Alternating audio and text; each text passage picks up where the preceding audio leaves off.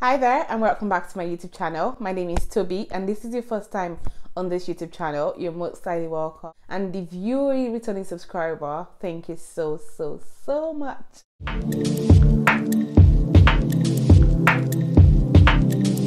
Right, so let's go into what today's video is about. Today's video is basically on the best um, degrees to actually study in the social sciences. So be sure to stay to the end of this video because I've got five key points However, I'm just gonna put it out there just so you know that you you know this is based on my discretion and based on like the findings and based on research I've actually conducted from other um, sources basically that had actually made me arrive at these five conclusions. Also, so just to put it out there, it's at my own discretion and it's up to you to actually, you know, consider them the best. And if you've got anyone that you think is the best or you think it's easier going into, feel free to actually drop down your comment in the comment section. First one I'm actually going to be looking at is criminal justice. Criminal justice, whilst obviously whilst going into the academia, whilst going into the education, I was actually not very conversant with criminal justice. All I knew was criminal law, but I did not really understand criminal justice at the beginning of my early careers. But along the line, after my um, undergraduate degree, I understood um, criminology basically. So I came about um that was when obviously criminology became a thing as well. So back in the days, it wasn't necessarily by itself.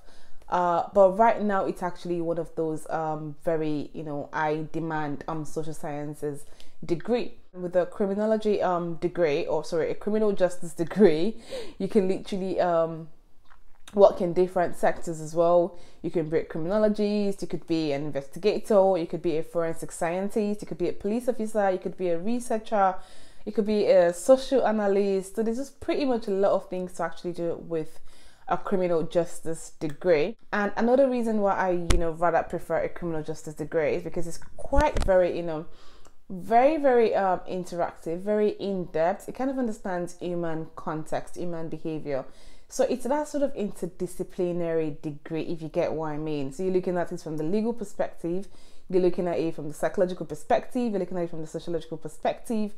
It's just a lot, you know, a lot of um philosophies, a lot of you know psychological aspects into that subject. The other degree I would actually recommend is political science. I know a lot of us actually aware about political science, and I know a lot of people actually feel like, oh, political science is actually one of those degrees that are kind of like um, not really necessary right now due to the low demand in social sciences job. However, with a political science degree, you could actually go into different sectors as well, similar to um, other social sciences degree. You know, but this is more focused in the governmental aspect. So, which is the difference between that and criminology? Because with the political science, you know, you could work as a political analyst. You could also work as a, you could also work as a social um, analyst. You could work as a public officer. So you could work obviously in governmental organizations. You could work with NGOs. You could work as a you could work as a researcher. You know, there are a couple of jobs you could actually do with a political scientist degree, and you're not sort of limited to a particular country as well because in the political sense of it, it actually covers a whole range of countries or a whole range of organizations. So it sort of depends on what you want to focus on. Political science is actually a very broad one and it's something you should consider as well. And number three is actually education. I know, I know, I know. I know a lot of people actually these days do not really want to go into education or do not want to teach. But if you're pretty much confused about what you really want to do and you want to have that secured career path, then I would actually highly recommend education. Education is actually very fulfilling as well. It's something I enjoy doing. Um, based on the fact that I actually lecture as well. This is something that is pretty much rewarding, having to impact knowledge, having to transfer knowledge. So if you're one of those people, like you know, if you feel like you have that, you know, have that passion to you know pass the knowledge to other generations or to other people, um, then definitely you should actually consider education as well. The fourth one I'm going to be looking at is international relations. I made a video earlier about um, jobs you can apply for, like the best jobs I consider you could apply for with an international relations degree. International relations degree, it's also very, very, very diverse.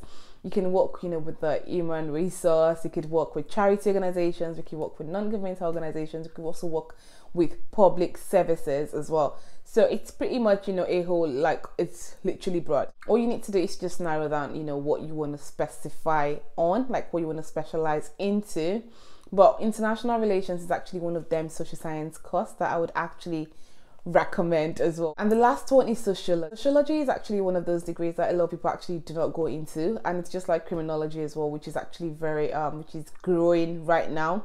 And I would actually say, you know, if you're pretty much um trying to figure out a course or you're trying to go into a course that is not, you know, just not popular, like it's not everywhere, it's not, you know, a course that a lot of people actually apply for, it hasn't got that high demand or that high push into it then you should consider sociology as well. It's actually a very good one because it's pretty much interdisciplinary as well, just as criminology. I hope this video actually does help you in some, and please do make sure you check out my other videos, which might actually be helpful to you in one way or the other. And I'll be sure to actually see you on my next video. Thank you very much for stopping by again, and I'll see you soon. Bye.